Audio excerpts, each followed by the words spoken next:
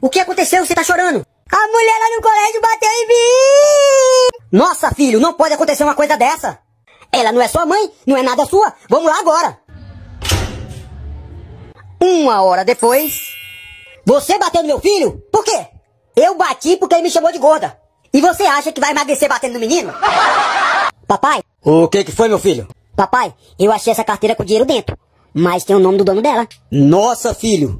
O que que você acha, pai? Eu devolvo para o dono ou eu gasto dinheiro? Devolve nada, filho.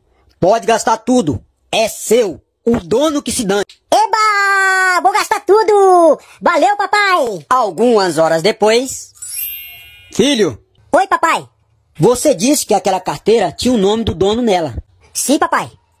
Afinal de contas, de quem é? Era sua, papai. Meu filho. Oi, papai.